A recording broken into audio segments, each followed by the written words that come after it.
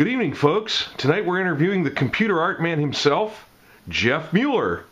Jeff, how are you today? I'm great. How are you, Xavier? Not too bad. Tell the folks a little bit about what we're doing here tonight. Well, uh, I met Miss Anoof on Twitter, and she, uh, we've developed a relationship, and she asked me to be a guest blog, uh, a guest on her uh, weekly blog. She's the custodian of Miss Anoofah's blog? Right, and and uh, so she sent over some questions, and she can't she can't actually ask me because she lives in the United Arab Emirates. Yes. So I'm going to be kind of like uh, conducting the interview by proxy on her behalf. Yeah, and and it's really kind of unique that you can that that this is where social media really kind of is special because there's no way in our lifetime that if there was no social media that me and Miss Anoof would be friends. And we converse regularly and have been kind of starting to get to know each other and she asked me to do this so let's do it. Well shout out to miss Anoofah. Thank you for giving us this opportunity and without further ado we'll proceed with the interview. Let's do this. Jeff how would you describe yourself in three words three words energetic artistic and passionate. That pretty much sums it up. So tell us the story behind you becoming a digital artist. That uh, really, real quick. When uh, when I uh, was, uh, my father was an, a commercial artist. He would uh, retouch and illustrate on photographs and he taught me the skill. I started when I was 16 years old. Once I got into the business and started working full time, the digital we saw in in uh, commercial art, digital art coming up strong, where you were going to be able to manipulate photography inside the computer. And my dad basically put everything on the line: his house he borrowed any money he could get from friends, investors, and bought a state of the art Quantel graphic paint box.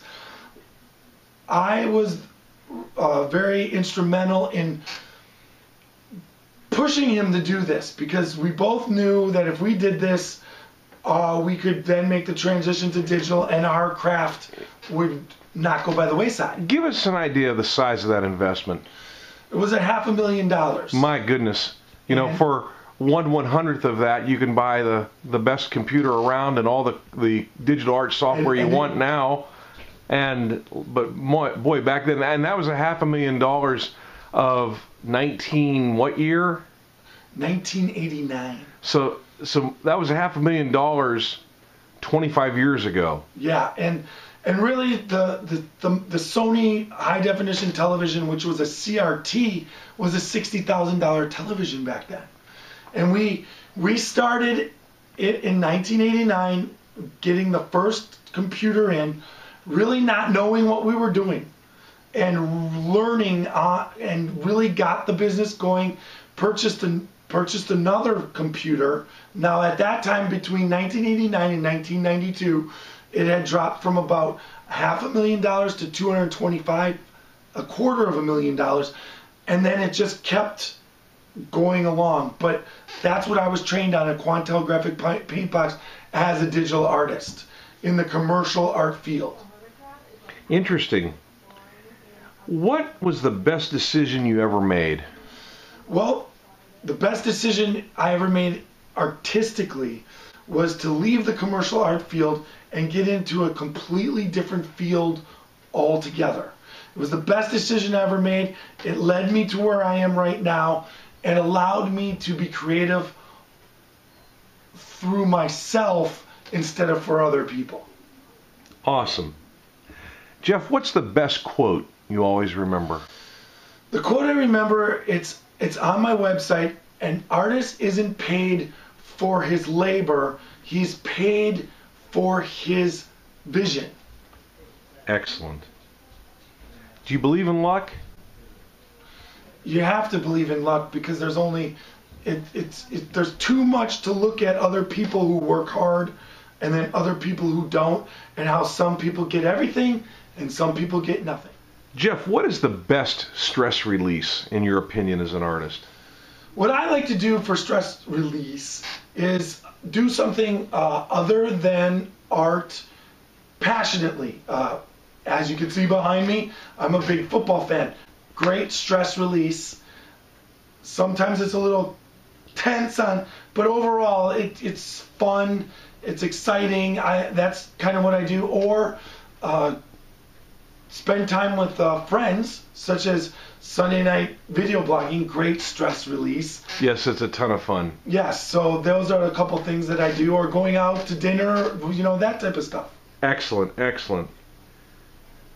What advice, if you could go back in time and talk with your 13 year old self, what advice would you give a 13 year old Jeff Mueller? Ooh, that's a tough one. Ah,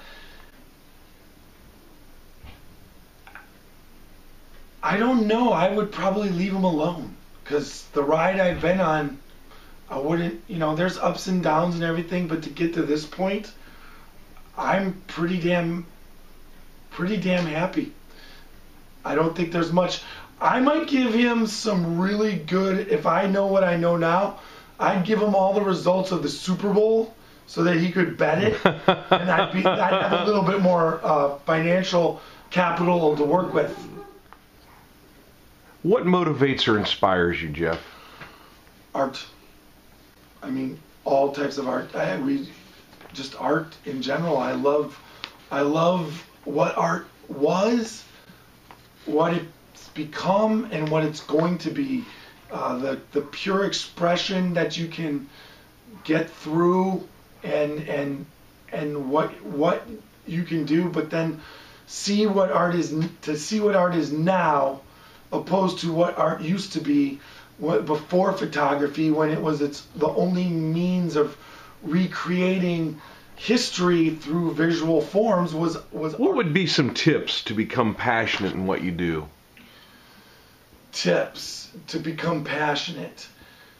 You got to love what you do so it's it's really something that is in you and heartfelt. So if you're doing something pick something especially if you're doing it for yourself that you love to do. All I could say is whatever you pick, whether it be stamp collecting, swimming, skydiving, love to do it and then just do it and share. What's one thing that you can't live without? I mean, my family, but let's just take my family out of the equation. A month ago, on January 7th, I would have said there was a lot of stuff like pizza and a bunch of stuff, but I've been proving that you can live without that. So I would have to say my computer, my my uh, iMac, if that goes down, it would be tough. You know, it would be tough to to exist because it's such a big part of what I do. If you were to pick your personal best piece that you've produced, which one would it be and why? Let's see, there's two. One I know is the best piece and gets the most acclaim. And I, when I was creating that, I was talking to an art collector on Twitter, and I kept going through the series, social media multimedia series, and he kept telling me to dig deeper. I didn't understand what he was talking about. I had done the first painting, which was Dinner at a Grill, did coffee house meetings, and steakhouse fling. But he just kept saying, you, you, these are really good, but you gotta get dig deeper. And I didn't understand it. And I went up to the West Side Market in Cleveland, and I was able to figure out what he meant by digging deep.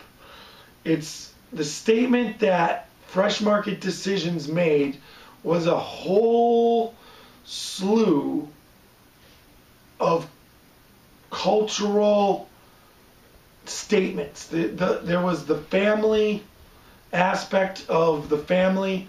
There was the aspect of healthy eating, uh, picking fruit from the shelf, making healthy choices.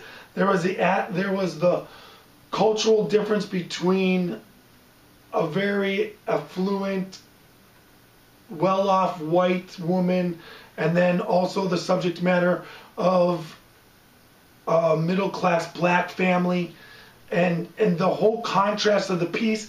And when I when I captured it, I do believe I subconsciously knew knew what I was doing because I was looking to to dig deeper, like he said.